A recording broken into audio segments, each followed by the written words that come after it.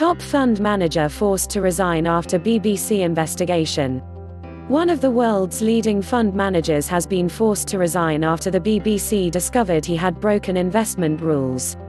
Mark Denning helped to manage more than $300 billion, 229 billion pounds, 265 euros n of investors' money at Capital Group.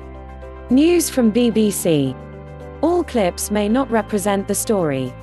Watch to learn English the way you've learnt your mother tongue as this video is especially made. BBC One's Panorama uncovered evidence that suggests he was secretly acquiring shares for his own benefit in some of the same companies as his funds. Mr. Denning, who had worked at the firm for 36 years, denies any wrongdoing. The 62 year old fund manager left his job five days after Panorama wrote to Capital Group about the findings of its investigation. Capital Group, which manages almost $2 trillion of assets, said Mr. Denning was no longer with the firm. We have a code of ethics and personal investing disclosure requirements that hold our associates to the highest standards of conduct. When we learned of this matter, we took immediate action, it said.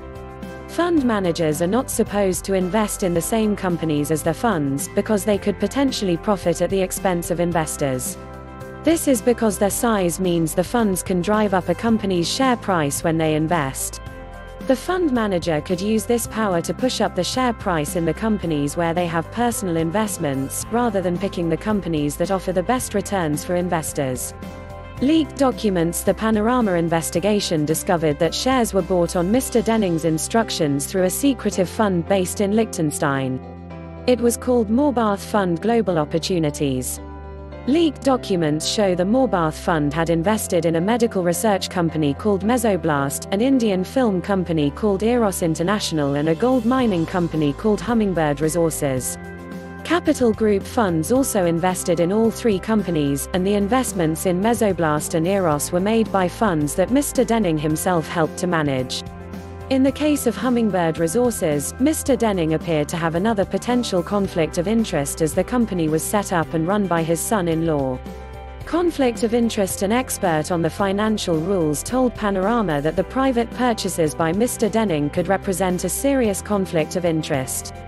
Michael Ruck, investigations partner at the law firm TLT, said, the whole point behind the regime, in relation to declaring conflicts of interest, is to protect investors.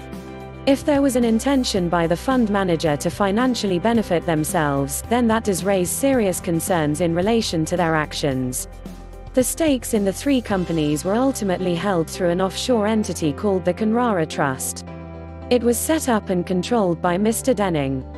Complied with duties Mr. Denning's lawyers deny that he owns the shares in the three companies because they say he is not a beneficiary of the Canrara Trust. Our client did not declare his interest in the Canrara Trust to his former employers because he had been irrevocably excluded as a beneficiary. He believed that he had complied with all of his relevant duties. Mr. Denning's lawyers say he received bad advice. They also say the Morbarth Fund had an independent asset manager and fund administrator. However, Panorama has seen evidence that Mr. Denning was behind the share purchases in the three companies and documents show the Morbarth Fund was regularly included in a summary of his personal assets. Mr. Denning appears to have named the Liechtenstein-based fund after the village of Morbarth in North Devon. He owns a nine-bedroom house, Morbarth Manor, and 21 acres of parkland in the village. The fund manager also owns luxury homes in Chelsea and the Bahamas. Controversial energy deal Mr. Denning used to work for Capital Group in London and was approved by the city watchdog, the Financial Conduct Authority until 2018. However, four of the funds he managed were aimed at American investors and he had been working from the company's office in Los Angeles. Panorama also discovered that the Canrara Trust owned Canrara International, a company that profited from a controversial energy deal in Senegal. Canrara International made $22 million after the exploration rights to a huge gas field off the Senegalese coast were sold to BP.